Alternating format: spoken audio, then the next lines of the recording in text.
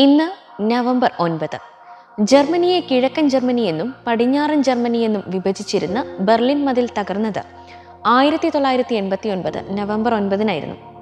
U S S ആറിന്റെ കീഴിലായിരുന്ന കിഴക്കൻ ജർമ്മനിയിൽ നിന്ന് പടിഞ്ഞാറൻ ജർമ്മനിയിലേക്കുണ്ടായ ജനങ്ങളുടെ ഒഴുക്കിന് തടയിടാനാണ് ബെർലിൻ നഗരത്തെ പകുത്ത് മതിൽ നിർമ്മിച്ചത്.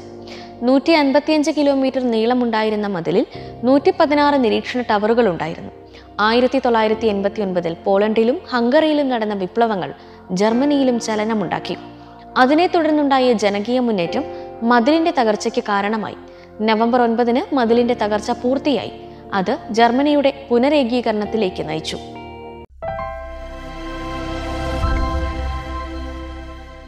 ഇന്ത്യയിലെ ഇരുപത്തിയേഴാമത് സംസ്ഥാനമായി ഉത്തരാഖണ്ഡ് രൂപപ്പെട്ടത് രണ്ടായിരം നവംബർ ഒൻപതിനാണ്.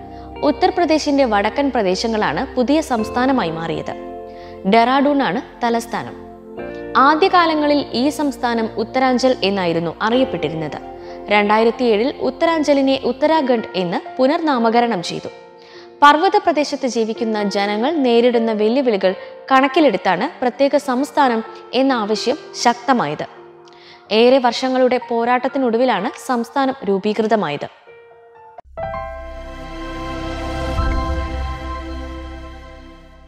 ഏറെക്കാലം നീണ്ടുനിന്ന അയോധ്യ കേസിൽ സുപ്രീം കോടതിയുടെ അന്തിമ വിധിയുണ്ടായത് രണ്ടായിരത്തി പത്തൊൻപത് നവംബർ ഒൻപതിനായിരുന്നു. ചീഫ് ജസ്റ്റിസ് രഞ്ജൻ ഗൊഗോയ് അധ്യക്ഷനായ അഞ്ചംഗ ഭരണഘടനാ ബെഞ്ച് പ്രത്യേക സിറ്റിംഗ് ചേർന്നാണ് വിധി പറഞ്ഞത്. പത്തൊൻപതാം നൂറ്റാണ്ടിന്റെ മധ്യത്തോടെ ആരംഭിച്ച തർക്കത്തിനാണ് ഇതോടെ കോടതിയുടെ തീർപ്പായത്. തർക്കഭൂമിയിൽ ക്ഷേത്രം പണിയണമെന്നാവശ്യപ്പെട്ട് ആദ്യ ഹർജി നൽകിയത് മഹന്ത് രഘുബർ ദാസ് എന്ന വ്യക്തിയായിരുന്നു. തുടർന്ന് നിരവധി ഹർജികൾ ഇതേ ആവശ്യത്തെ അനുകൂലിച്ചും പ്രതികൂലിച്ചും നൽകപ്പെട്ടു. ആയിരത്തി തൊള്ളായിരത്തി തൊണ്ണൂറ്റി രണ്ട് ഡിസംബർ ആറിന് ബാബറി മസ്ജിദ് തകർക്കപ്പെട്ടു. നാൽപ്പത് ദിവസത്തെ വാദം കേട്ട ശേഷമാണ് സുപ്രീം കോടതി വിധി പറഞ്ഞത്.